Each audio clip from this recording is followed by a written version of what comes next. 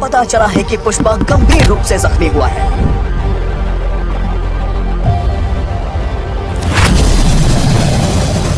अगर जंगल में कोई जानवर दो कदम पीछे ले तो समझो शेर आया है।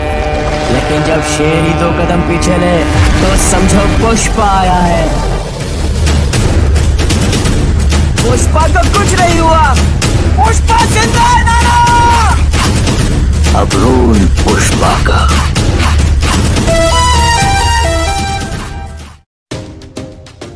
पुष्पा नाम सुन के फ्लावर समझे क्या? फ्लावर नहीं, फायर है।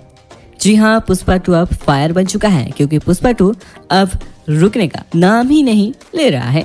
हर जगह से पुष्पा टू ही ट्रेंड कर रहा है। दोस्तों, हर कोई पुष्पा टू की रिलीज़ डेट की बेसब्री से इंतज़ार कर रहे हैं और अल्लू अर्जुन के फैंस इस फ़िल्म को लेकर काफ़ी एक्साइटेड हैं। आपको बता दें कि दर्शकों ने पुष्पा की पहले पार्ट को खूब पसंद किया था, जो 2021 में रिलीज़ हुआ था। और इसका दूसरा पार्ट अब फाइनली कुछ ही महीनों के अंदर रिलीज़ होने जा रहा है।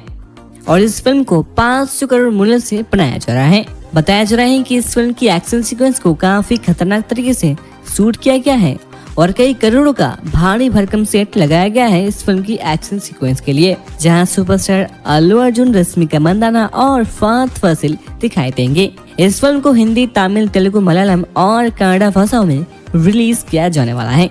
इसके साथ ही हाल ही में ही पुष्पा टू फ़िल्म की मेन विलेन यानी कि फवर सिंह शिखावत की एक लुक ऑफिशियल की तरफ़ से रिवील कर दिया गया है, जिसको देखने के बाद फैंस काफ़ी एक्साइटेड हैं और सोच रहे हैं कि अगली पार्ट में क्या क्या होने वाला है।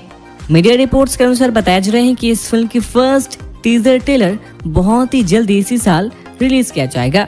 और इसी के साथ ही पुष्पा टू फ़िल्म की एक डायलॉग भी हाल ही में ही रिवील हो चुका था। जिसको सुनने के बाद फैंस फिर एक बार इस फ़िल्म को ट्रेंड करने लगे हैं।